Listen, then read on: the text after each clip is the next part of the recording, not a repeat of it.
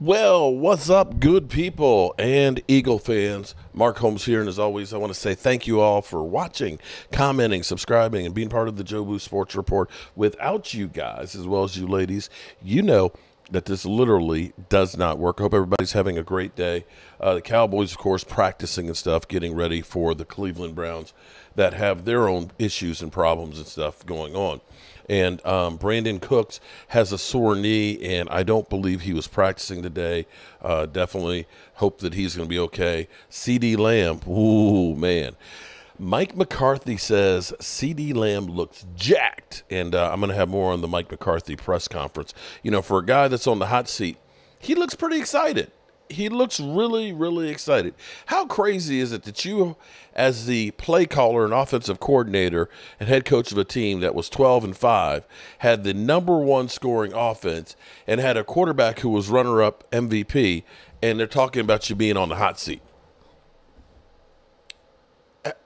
How, how, how crazy is that? that? That's crazy.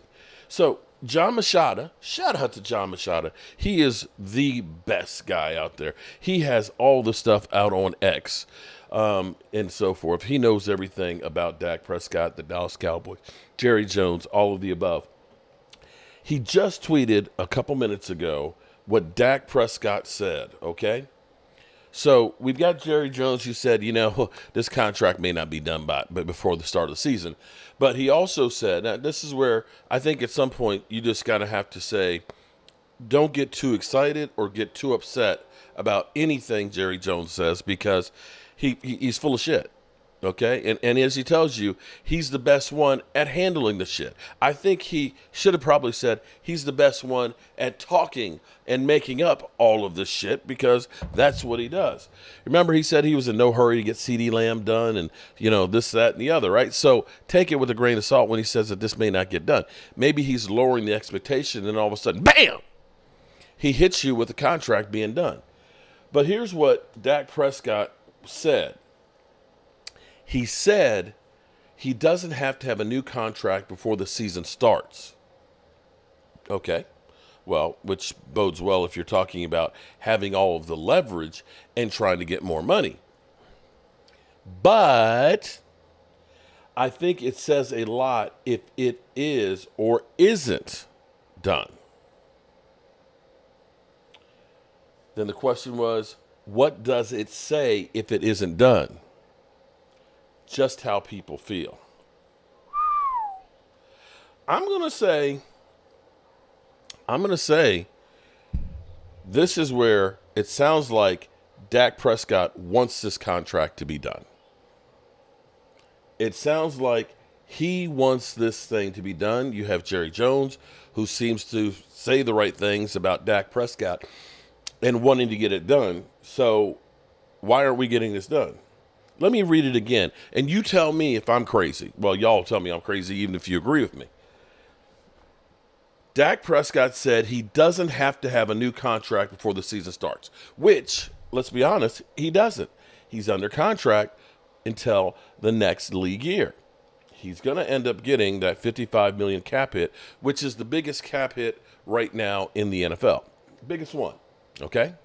Right? Now, mind you, I want to remind you guys of something here too while we're sitting here going about how much Dak Prescott cost and everything else and get rid of him, you know, let's get somebody else in here.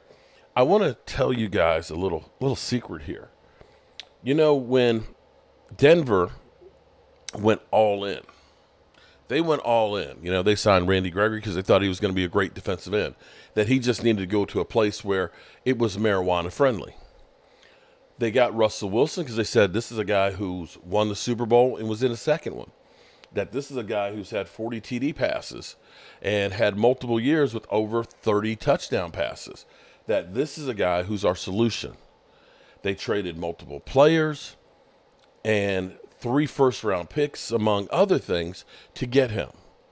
Not only did they give up picks for him, for the two seasons that he was there, you don't hear anybody talk about this. This is this is amazing to me that nobody says anything about this when we talk about Dak Prescott costing $55 million this year, who was a runner up MVP.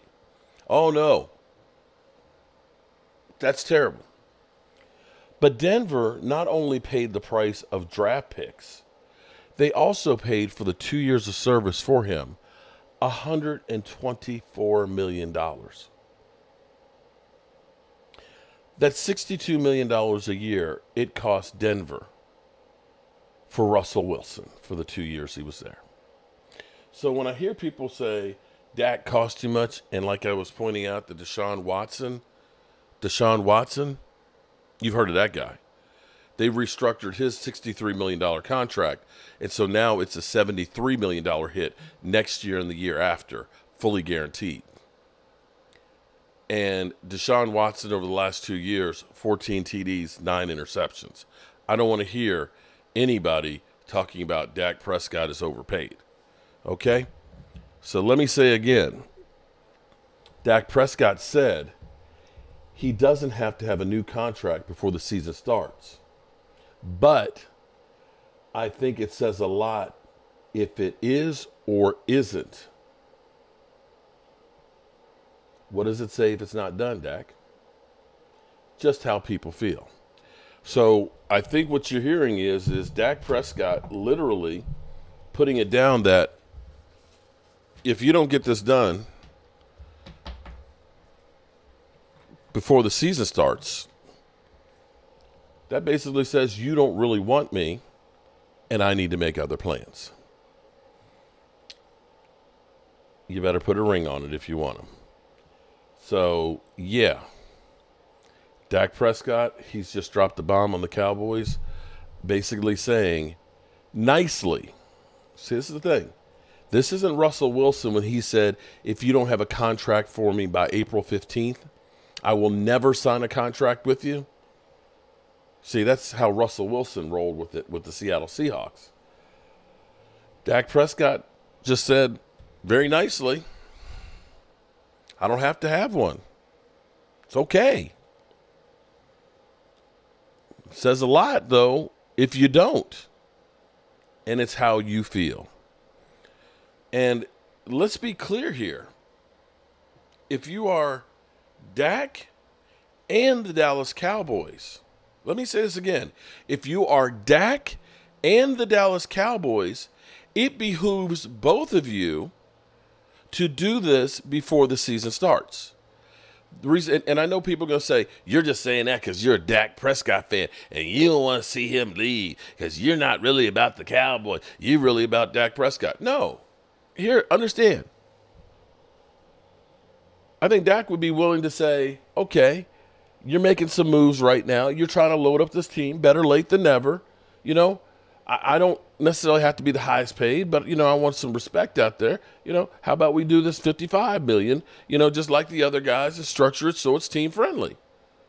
Maybe it's 55.1. Maybe it's even, you know what, I'll go 53 if you go out there and get me another swing tackle.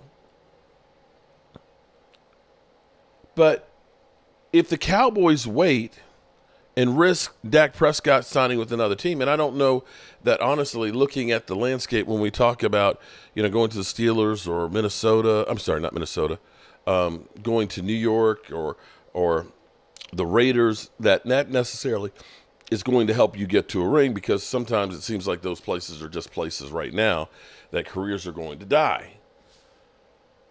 But if you're the Cowboys, it might save you five million a year just because of the natural progression of contract. You don't know. Kansas City may come out now with a new contract for Pat Mahomes to go ahead and get ahead of this thing. You know, Buffalo might decide, hey, let's go ahead and get Josh Allen done because we know we're going to have new money later. And now all of a sudden, 55 might be 60 as the going rate.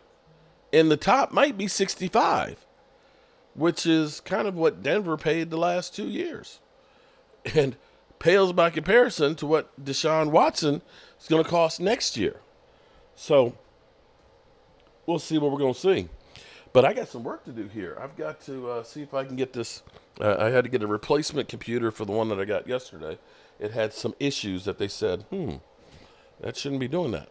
Uh, software issues. So um, we're going to be trying to restart that one and see if I can set it up and at least get the new setup here and then exchange the computers when I go back home uh, in a couple of days and stuff. So we'll be testing out the new stuff here, guys.